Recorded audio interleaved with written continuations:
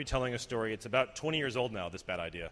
Uh, it happened to me in high school, but maybe make it a bit more uh, easy for those to understand. I'm going to be talking about these three emotional states pain, uh, fear, really expressed as personal self doubt, and then humor, potentially as a way to overcome those two issues. Growing up, I was convinced of two things about myself that I was very bright, maybe not humble, but very bright, and incredibly coordinated. And as proof of that, I played on the varsity basketball team at Space Camp, uh, which, as it turns out, you can pretty much just walk right onto. It's really not that hard. Um, one of the things I also knew about myself was that I was a terrible student. I had really no uh, time management skills. And so when Sunday night would come around, invariably it would involve lots of Mountain Dew, lots of caffeine, and a pathetic attempt to let that last minute uh, inspiration hit and get all my work done by about 2 a.m. Uh, unfortunately, uh, I went to uh, a boarding school, and then uh, in high school there was no espresso bar, there was no coffee machine, there was no little mini fridge in the room. The only source for caffeine that was available to us was the Pepsi machine in the basement of the building.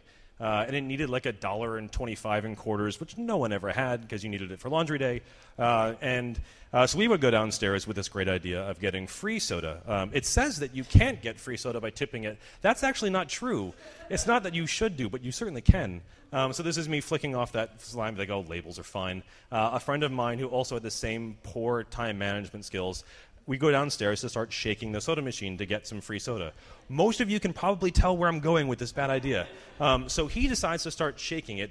Me, being A, smart, and B, coordinated, decide to catch it. Uh, and so he's kind of pushing it over, and it's getting to that like 30 degree, 40 degree balance, and I'm kind of trying to catch it, and all of a sudden it comes just absolutely crashing down. I am just crunched. This whole, you can hear bones crushing blood all over the floor. I am completely decimated by this machine.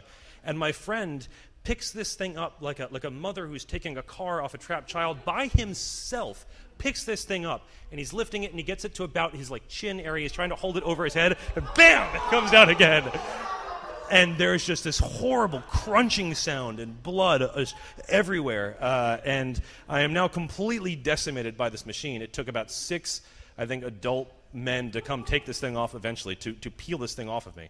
I hope you enjoyed the blood splatter, by the way. That took some time. I then moved in and lived in a hospital for the next year of my life uh, and slowly had to get rebuilt. I had blood transfusions and surgeries and metal rods inserted into my skeleton. It was a lot like being Wolverine without the body hair or sex appeal uh, of a 16 year old living in this hospital. Uh, and over the time of that, uh, that incident, I had to redo everything. If you don't use your legs, you literally lose the ability to, to use them, to control them. And I couldn't do simple things that even my 10 month old can do. I couldn't balance, I couldn't stand. Uh, and they, everything just started seeming really intimidating. These simple acts you just take for granted. Um, and so you can see I'm getting obviously past the, the pain part of the presentation into just pure abject fear and self doubt you, your, your, mind can't process it all at once. And so my initial fears were lunch. I'm supporting my entire body weight in my arms. I can't hold a lunch tray.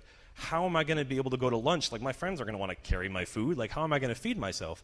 And then I started having this fear as the doctors told me that my left leg might not grow to the same size as my right leg how am I going to go bowling? Because you can't rent bowling shoes with one shoe six inches bigger than the other. Like, my rolling game is going to be terrible. Uh, and it's after a while that your brain starts processing what's happening that the real fears hit you.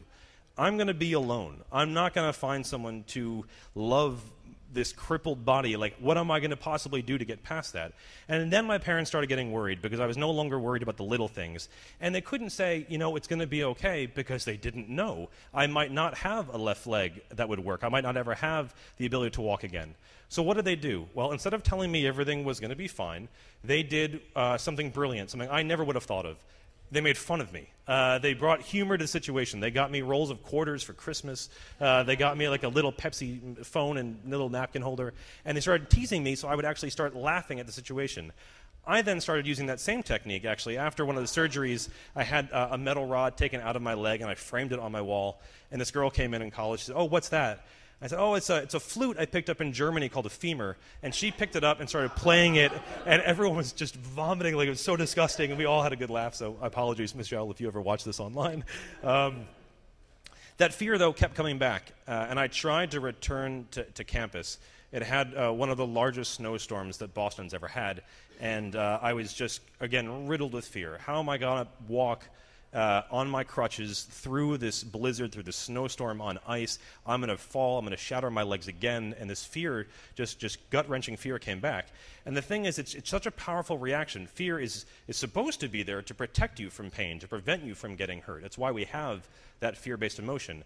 And it's very hard to think about anything else. If you can, if you can, if you can focus on that humor, it actually, you can never take the pain away, but you can dial back the initial fear response.